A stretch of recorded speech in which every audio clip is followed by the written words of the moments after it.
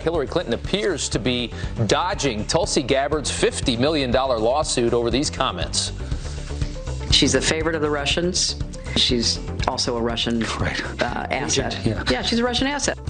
Russian asset. The Congresswoman's lawyer, Brian Dunn, telling the New York Post they've tried to serve Clinton twice, but were turned away by Secret Service agents. Dunn says he can't believe Clinton would be so, quote, intimidated.